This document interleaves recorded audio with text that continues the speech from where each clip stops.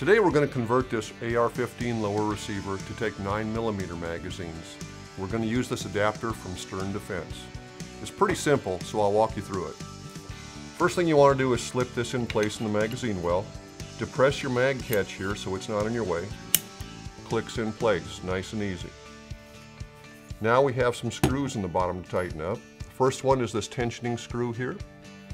And what that does is it operates a cam that pushes against the front of your mag well and locks this solid, solidly in place. No movement. The other thing we want to do is these two set screws here bear up against the bottom of your receiver and they've got nylon tips on them. They're not going to hurt your receiver. So we tighten those up and they again ensure that there's no play because if this thing can wobble back and forth, your magazine is wobbling and it may not feed reliably if it does. So we tighten that up.